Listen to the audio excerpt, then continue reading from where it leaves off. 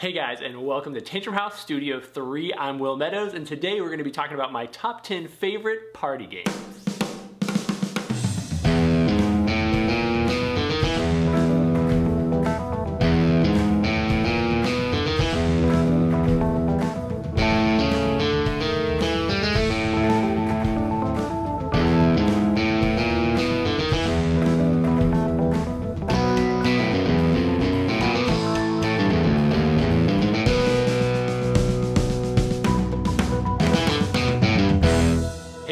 Thanks for joining me today for my top 10 favorite party games. I'm excited to be able to go through this list. I super enjoy a good party game. Uh, I've already put together one of these lists in the past, but my tastes have changed just a little bit and there have been a bunch of new fantastic games that fall into this category. So I wanted to put together a new video to share them with you. Before we jump into the video, I do want to kind of define a little bit of what I'm calling a party game because there are some really fantastic experience games that have a higher player count. All those things are important in the definition of a party game but they take a little bit too long to explain, I think. So I'm kind of condensing my definition of a good party game to something that you can learn to play in just a couple of minutes. Unfortunately, that rules out some of my favorite games like Captain Sonar. This game is super fantastic. I love the experience from it, but in order to get down and play the game, either everybody has to already know how to play it, or you gotta spend 10 minutes with each player uh, teaching them how to play the game. Uh, amazing game, doesn't fit in my category. Steam Court is another one of my favorite games. It's so much of a favorite that I actually published it. Uh, it's based on a ladder trick-taking card game, and I added a bunch of powers, and it's a lot of fun. In fact, I've hosted several like themed game night, party nights, where everybody dresses up in their best steampunk outfits, and we play. It plays up to 12 players. Really fun, one of my favorites, but Again, it takes about 15 minutes to learn how to play. One of the beauties of this that almost fits it into the party category is that you can kind of drop in and out of the game as you're playing it, which is nice, but doesn't quite fit what I'm looking for for the specific criteria of a party game. One other whole genre that I want to give a shout out to is uh, the stuff that's going on on JackboxTV.tv. Uh, it's a platform where you uh, buy a set of games, you host it on your computer or TV, and everybody else chimes in and plays with their phones man, have had a blast playing some of those games, especially like TKO and Drawful and some of those. Uh, really enjoyable, but again, I'm looking for board game specific. I think I've taken enough time to give my clarifications. Let's jump in with number 10. Number 10 on my list is Two Rooms and a Boom. This game is a fantastic party experience game where everyone gets a card that will determine their role for the game. You're gonna split up into actually physically two different rooms and the goal of the blue team is to protect the president, make sure that he gets to meet the doctor to get his medicine, and at the end of the game keep him separated from the bomber who is trying to meet with an engineer to get his bomb working and basically players are gonna be spending a couple minutes in each round They'll walk into a room, they can reveal their card to other players if they choose to, they can hide it if they have a secret identity that they don't want to reveal, and players basically just talk to each other, try to decipher lies, try to catch a glimpse of other people's cards, try to make good decisions about who should be the president or the leader in their room, to vote for who should leave the room and who should be coming in. Uh, it's a lot of just really crazy fun. If you aren't one of the main roles in the game, if you're just kind of an average Joe bystander, it is a little bit less exciting, um, I will admit, but there are so many roles in the game that you can plug in, especially with expansions and things, that pretty much every single person in the game could have something specific that they're doing there are like zombies that you can be, there's Romeos and Juliets that have to see each other. There's a bunch of different things that you have to do in the game. And at the end of that round, when you finally figured it out and you get the president into the room with the bomber and you're on the bad guys team and they blow up, it's one of the most fantastic experience moments ever. There's also some traitors and those are probably the best roles ever. You can be a secret agent where you are on the red team, but your card is blue, and so you flash it to other players on the blue team. They give away all the secret information. Uh, I've never had my heart pounding in my chest as much as I have uh, the time that I played this at Dice Tower a couple years back. We had a huge group of people playing it. I was a trader. I had all the information, super vivid memory because it was such a fantastic experience. Number nine. The number nine spot on my list goes to a classic party game. It's, it's a modern classic that has caught on and they've made a million expansions of it and it is the game Codenames. My favorite personally is Codenames Pictures.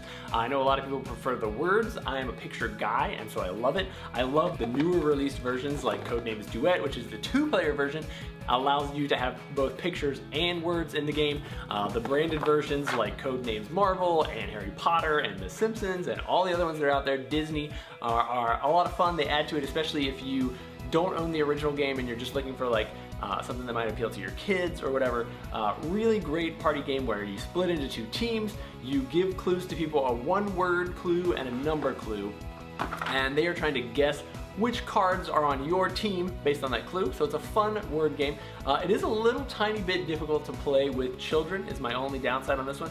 Even the Disney one, uh, a lot of times when I play with kids, I end up resulting to, or they as clue givers end up resorting to uh, giving like a one word and a one number clue, which you have to do, uh, like, you know, Winnie the Pooh 1. And so that does take a little bit of the steam out of it, but really, really great genre of games. In fact, I want to kind of broaden this category just a little bit because if you already own Codenames and you enjoy it, there are a lot of newer games that have come out using similar mechanics, which I really enjoy, and so I give all the credit to them for creating that whole concept. Uh, but some other new ones that are pretty interesting are Shadows of Amsterdam, this is the same type of thing, but it's in real time. So you're giving clues to your team to get them to navigate around the board. You're actually making a path with your character, trying to make it to certain spots. Uh, it ups the pressure just a little bit. It makes it to where a one word clue is not so bad because you're just trying to get them to move one space um, at a time sometimes. And so I feel like that's an interesting one. One of the brand newest ones I just got introduced to is called First Contact really neat game where you, uh, I think this actually kind of fixes some of the downtime in the game as well because you are either like an Egyptian god trying to communicate to the peoples or you're the peoples trying to communicate back to the Egyptian gods. And you are going to be, you have kind of a, this cipher board that has symbols on it. And so the, the lowling peoples, the humans will be using the same grid of like five by five cards and they'll be turning some sideways to kind of get you to grasp a concept. Maybe it's like big or sharp or valuable. And so they'll turn all the cards that are that they think are valuable, and then you have to give them the symbol on your little chart for what valuable is. You don't know if they actually meant valuable, but they picked the gem and the knife. Maybe they meant sharp. And so you've got to communicate back and forth using these symbols. Uh, really fun concept. A little bit more complex, but yet a little bit uh, more going on. So in a good, like, if you've got people who understand it and know what they're doing, it gives everybody something to do on their turn. Like this whole genre of games. Give a clue, give a word, break into teams, really fun stuff. Number eight. For the number eight spot on the list, I'm gonna kind of do the same thing and kind of put a whole category of games together. Uh, one of the games that I got to play this year was Secret Hitler. I had heard a lot about this one. It's a very interesting one. I was kind of nervous of the theming of it. This game is a lot of fun to play. I probably would have put it higher on my list, but simply because of the title, I feel like there's a little bit of a stigma that could go with that. And so it's, it's a fun one. It's worth experiencing. Uh, if you don't like that theme, it's very much the type of game like uh, The Resistance or Werewolf, where people have secret identities, you're gonna be voting for each other trying to sway uh, which party is going to win at the end of the game. I felt like the art and the components for Secret Hitler were really polished. I enjoyed the aesthetics of it, and so that put it higher on my list than Werewolf or some of the other games. Uh, but it fits into that same category, and so you've kind of got your whole choice of options. Do you want to be a werewolf, or do you want to be a Nazi, or do you want to be uh, whatever the other versions are, the Resistance? Um, there are a lot of different themes that all have this very similar game mechanic, and so I want to kind of just stick all those into this number 8 slot. Uh, included in that is a really fun game called Werewords. It's a 20 questions type of game that's placed in that werewolf universe. It also has a really cool app that accompanies it, makes it a lot of fun so that everybody can play. Uh, you're still doing the type of thing where you close your eyes, pick a word, everybody looks up, and you figure out uh, who knows the word, who doesn't know the word, what is the word. Really interesting stuff. Um, but whole category of secret identity games putting those all together, uh, putting, I think Secret Hitler at the top, really pretty, a lot of fun, really cool game. Number seven, my number seven slot goes to Throw Throw Burrito from the makers of Exploding Kittens. Uh, this game just came out this past year, or at least I got to play it this past year. It is a crazy game. It has some nostalgia value in it for me because it incorporates some mechanics that I used to love as a kid. Uh, the base mechanic for the game is essentially spoons. So you are looking at cards as fast as you can and you're trying to get a set. You are grabbing a card, looking at it. If it doesn't help your hand, you get rid of it. As soon as you do get a set of certain types of cards, you put them on the table, Some of them will give you points at the end of the game, a bunch of crazy characters. Some of them will initiate like a brawl or a war or whatever. And so when those cards go down, you make the announcement and then players like either on the right and left of you or all the other players in the game dive for the burritos to try to get them. Then they're trying to chuck them at each other because if you get hit, you lose the burrito life. Uh, once all the burrito lives are gone, you score the round and then you play two more rounds or one more round and whoever wins, uh, they may end up getting the most points and win, or they might have to do like a showdown where they're literally back to back, taking three steps away from each other, turn, chuck the burritos. It is a crazy mess. I love it, super fun. I will say, only downside to the game is that it looks super light, like it'd be really easy to just jump into and play. And this is on the border of like, it takes me a little while to explain that there's gonna be three rounds, you gotta have these tokens, these cards mean these things, these cards mean these things. When I shout them, only you two do stuff. The, the explanation time is a teeny bit long in this, but play it one time, even if you don't understand the rule, it's excellent fun because you're getting burritos chucked at your head. And overall, really, really good time. Love the energy factor, love the replayability, love to bust this one out at conventions and things because it's just hilarious to watch people jump into. Number seven, or whatever number I'm on, throw throw burrito. Number six. Number six on my list is Just One from Repos Production. This game is probably the most like um, mainstream feeling game in my lineup. This game is the uh, everybody writes a clue, everybody reveals the clue, everybody answers the clue. Uh, it feels a lot like a lot of other board games that you've played out there, but it does have some nice little twists uh, in that when you're giving the clues, it's a cooperative game for one, which is excellent. So that there's nobody, there's no teams, there's nobody against anybody, which is really nice. In this game, you're trying to help one person on your team figure out the answers that are written on your card. When you do it, everybody can write a clue and it's wide open. You can write whatever you want. In fact, it's a little bit better that you put weird clues on the sheet because any clues that match, you reveal them to everybody else on your team. If they match, you don't get to use them for the round, which means the guy guessing gets less help and it makes it harder for him because he has fewer words to choose from. But if everybody's answers are so weird and off the wall that they, they weren't in on that main concept, then it's really hard for the guy to guess as well. And so this is a lot of fun, especially when you end up writing the same clue as the same other person two or three times and you're like, oh, we are thinking so much alike. And then on your next round, you're like, I'm gonna write something totally haywire. He'll never think of this. You write it. He also matches you again. What? And so there's a lot of fun to be had just in the way that our minds associate things together. This is a nice new, just simple, sharp gameplay one Super easy to jump into and play. Really fun. Player count's really nice. Really cool stuff. Just one. Number five. All right, so we're down to number five, halfway through the list. All the games that I've been talking about are games that I've played a bunch of times with family, friends, with high player counts, with low player counts. This next game is maybe the one that I've played the most this past year. Uh, it is Finger Guns from Indie Boards and Cards. This game is so easy to jump into uh, that it's, it's like my go-to ad game night. Let's just start with finger guns. It's easy. Uh, in the game, everybody has a card. It shows you what your motions in the game are. You're trying to kill each other off, which is simple and fun killing each other. Uh, you're either gonna be, you know, shooting one other person and taking away their health, or shotgunning somebody, or blowing up some dynamite and hurting people on both sides of you, and also hurting yourself.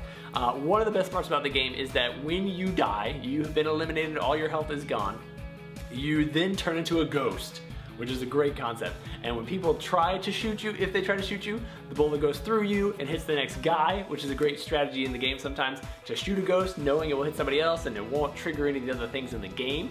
Ghosts can actually win in the game, which I love. My kids love this game. Everybody that I've played it with has a blast. It's really, really fun. It's like a stripped down version of uh, Rock, Paper, Wizard is a very cool game where you're doing hand motions and stuff. There's a lot going on in that game. It's a little more strategic. This one is just super fast, easy to jump into and play. Finger guns at high noon, lots of fun. Number four. No party game list is complete without Have Happy Salmon. This game is a blast to play. If you don't own it, stop the video now, go wherever you need to do, buy it, add it to your collection. It's super small, it's compact, it's super cheap, and it's literally like some of the most fun that you can have playing with a deck of however many cards are in here, 25 cards. Um, this game is kind of easy to forget because it's a little bit small. It kind of tucks into your, your, your game shelf and you kind of forget that it's there. And then you pull it out at a game night and you say, oh, have you played Happy Salmon? And the person says, oh no, I never heard of that game. All right, well we're gonna play it right now because you need to experience this. You play the game, it's, uh, it's similar to some other games, but you've got a deck of cards that you are trying to find matches for. You reveal the top card, it says uh, do a fist bump. And so you have to find somebody else who has the same card, fist bump them, and then you can get rid of that card. And the next card says high five, and you gotta find a different person to high five and give them that card. The funniest card on the deck is the Happy Salmon. You literally have to find someone else with the matching card. You do this weird Happy Salmon thing that's hilarious. Um, the part that makes the game so fun is that you get halfway into the game and you are literally screaming at the top of your lungs you know, fist bump, fist bump, somebody give me a fist bump. You only have two cards left, you're so close to winning, you finally get rid of that card at the same time as somebody else. To win the game, you have to grab the salmon off the table. You're supposed to do like a little happy salmon thing with the wings, and then you yell, I happy salmon, I win the game. It's fantastic. As soon as you finish, everybody at the table says, let's play it again, let's do it right now. And then, because you were so loud and crazy, all the people at this table, this table, and this table are staring at you going, what just happened? And so by the end of the second game, two guys have lost their voice because they've been yelling so hard and having so much fun and they're like having heart palpitations. And then five other people from those other tables are like, okay, I gotta jump in, I gotta just do one game. And you play this game over and over and over again with different people or the same people. We like to shake it up with like the silent version because usually by game four, you've lost your voice. And so now everybody's doing this trying to figure out motions to the game, which is also fun. And it's just the type of game that if you don't have it, add to your collection. Happy Salmon, fantastic. Number three. These next three games, I actually had a really tough time sticking in order because I enjoy all three of them an incredible amount. Uh, one of them is brand new to me this year. I hadn't experienced it until uh, maybe Gen Con this past year, and it is the game Medium. Uh, this game is incredibly simple. It's a deck of cards, there's some like tokens with victory points on them. I literally never play by the rules because other than the base rule, like it, you don't need anything else. In the game, everybody gets a hand of cards. You play one card and then the person that you're playing with plays a card. And the idea of the game is that you're trying to match uh, a concept with that person. And so I might play the word sand and you might play the word uh, ocean, even though that would be an unlikely combination. And then on three, we synchronize our brains, we mind meld, and we shout out the same word. So we say one, two, three, beach. And if I say beach and he says sea, then we move on to round two, where we now take these two new words, beach and sea, and then we say Atlantic, you know, or whatever, and we can do that up to three times. If we match on any of those times, we'll gain a point token. If we match, and if we do it on the first time, we get more points, second time, fewer points, third time, like one point or whatever. Um, and then my turn is done, and then the next two people play. And there are some additional cards in there that you can play where like I can jump in on somebody else's to try to match it up. Uh, and there's, the artwork for it is really cool. There's like three crystal balls that come out, and when they come out, the third one comes out, that's supposed to be the end of the game. I literally have only ever played by the rules once. and I always play it now because it's just more fun where I play a card anybody else at the table can play a card that they think is a good match, and then on three, we all shout out the word that we think matches. I don't know why, but it is, it's similar to that other thing I was talking about before with just one, where somebody else thinks like you in the game, and you just form this like friend bond with them, because now you guys are shouting out the same answer, and then, like, one of my favorite parts about almost any game is the aftermath. Like the game is over or the round is over and now we're rehashing the fun time that we had playing it. And I'm saying like, no, no, the word for those two was definitely this word. It was the best clue. And you're saying like, oh yeah, I should have thought of that. You're right, that's it. I said such and such. Ah, oh, so I'll now make sense because I got the rest of the story. So it works pretty well. It works really well with uh, strangers super fun to play because the concepts are big and broad. It works even better with friends and family that you know really well because then you can just reference crazy stuff that fits those two words together perfectly and is a blast. Uh, love the energy, the speed. I love just like the dimensions of the box. It's small, it's easy to take with me and bring. Sometimes I just literally take one deck of the cards uh, with me when I'm going somewhere, which is great. Uh, just, it works really well for a party. It's a great icebreaker, really easy to jump into. Check out Medium. Number two. If you follow along at Tantrum House at all, or if you know my gaming preferences to any extent, or if you've watched any of my other top 10 videos, then you know that one of my favorite games that I talk about a lot and I very much enjoy playing is Don't Mess With Cthulhu from Indie Boards and Cards. This game is a blast. Super fun, can't recommend it enough. The only reason that I'm bumping it to the number two slot is I've played it so many times that in this past year, another game, which we'll see at number one in just a second, kind of out exceeded it in the number of plays. Still super fun, very much love it. It's a bluffing and secret deduction game where you are trying to either act as an investigator or a cultist. Those cultists are trying to release Cthulhu, they're trying to flip over the Cthulhu card. The investigators are trying to reveal all of the Elder Sign cards to lock him away and win the game. This is one of the few games in a bluffing game where unlike um, Secret Hitler or the Resistance, in those games, you have to be a pretty good liar. Like your poker face is the key to winning those games. Don't Mess With Cthulhu it gives you a lot of like protection from that because you can be telling the truth and look like a liar, or you can be lying and look like you were telling the truth, or at least have a really good excuse for why it, you know you weren't lying or you said you weren't lying uh, because of the way the cards are revealed. So the mechanics for it work really, really well. Super enjoy this game. I will say one reason it got bumped a little bit lower is uh, the theme to this game. I, there are tons of people who know the Cthulhu lore and they're familiar with it and they immediately understand it. There are a lot of people that I play this game with where I say, now you're gonna be the cultist, and I see this little like, you know, clip in their mind, like what, what are we talking about? I wish there was a game that played the same way, had the same intensity and excitement, but maybe had a different theme. It would definitely be the number one game on my list forever and ever. As it is, it's gonna sit at the highly coveted number two slot. Check out Don't Mess With Cthulhu. Such a good game. Number one! Alright, we are down to the number one game on Will's top 10 party games of 2020 list. This is the moment we've all been waiting for. You're wondering what game is it that is easy for everyone to learn, has fantastic components, is fun for kids, adults, families, everything you could ever imagine, only takes a couple seconds to learn, plays with an infinite number of players. That game is Wavelength.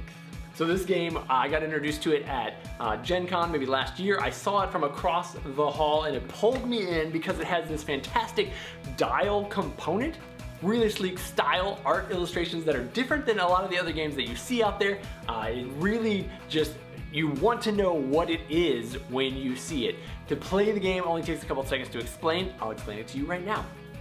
In the game, cards have uh, a spectrum on it. Might be best cereal, worst cereal. You place it into the slot, you as the clue giver look and see where the spectrum has randomly landed at, you close the shield and then you turn it around and you give a clue to your team that will allow them to dial in on that spot. So if I said mm, best cereal, worst cereal, Count Dra Count Chocula then my wife would immediately know, turn it all the way to the right. It's the best cereal in the world. However, the rest of the team is all going, ugh, gross, really? I hate that cereal. Life is the best one. No, give me that shredded wheat. And so it has this great uh, like ice-breaking conversation style where everybody can talk about random stuff and argue over stuff. The other team is always chiming in with like, no, it's definitely gotta be to the right or the left. And so you've got this great like just human conversation going on as a result of it. You're also gaming at the same time. You tune it in.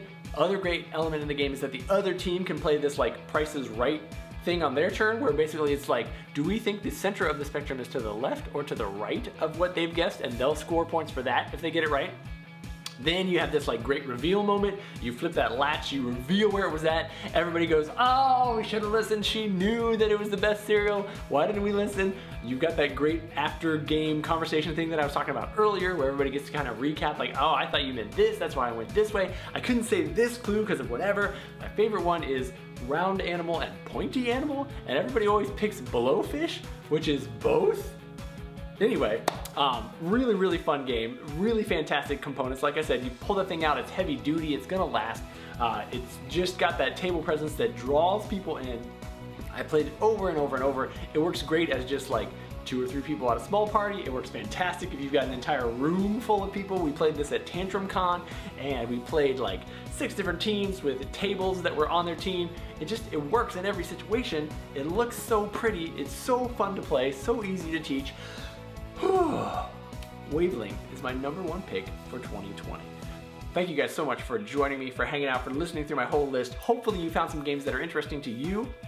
Uh, any of these games I'm confident you would enjoy. I've played them over and over. Uh, I tried to pick stuff from different genres, stuff that you maybe have not heard of, so it kind of gives you some new stuff to look into. I hope that you enjoy them. Check them out. We've actually done preview videos on a lot of these games or reviews or playthroughs, so you can kind of check some of those out and get an even deeper feel for the types of games that we played. Uh, if you are looking for other games like strategy games, Melissa has a top 10 uh, game list that you should check out. We also did uh, like just our favorite top 10 games. There's a, the guys of Tantrum House did top 10, the girls did top 10. There's a lot of other videos out there that will give you great resources to find fantastic games. If you love tuning in and just chatting about random stuff or listening as we chat about random stuff, we've got a podcast that we record on every Monday. You can find that on the iTunes or the Amazons or the Stitchers, wherever you're looking for stuff. Uh, join us uh, so many fun games out there to play right now. If you haven't heard of these, then there is a broad and wide world that you need to jump into and have fun with your friends and family through. Uh, if you have heard of most of these, then I'd love to know in your comments what other games that you'd recommend to me. Uh, even if you're watching this video like two years from now, I'll probably still be checking it and I would love to know what new board games are coming out that you think I would enjoy based on my top 10 list. Thank you guys so much for joining us. Thank you for following along at Tantrum House. Thank you for subscribing and all the great things that you guys do. We love playing games with you. Hopefully we'll see you at a convention or a game night or at Tantrum Con sometime soon. I'm almost out of a voice because I've been so excited talking about all these games. Thank you guys for hanging around. Catch you next time.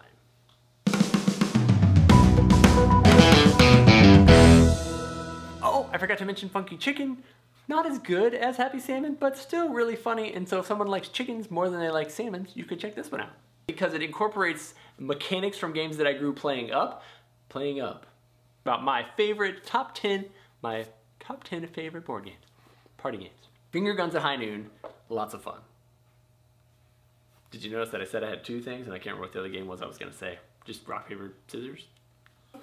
Number one, number one, number one, number one.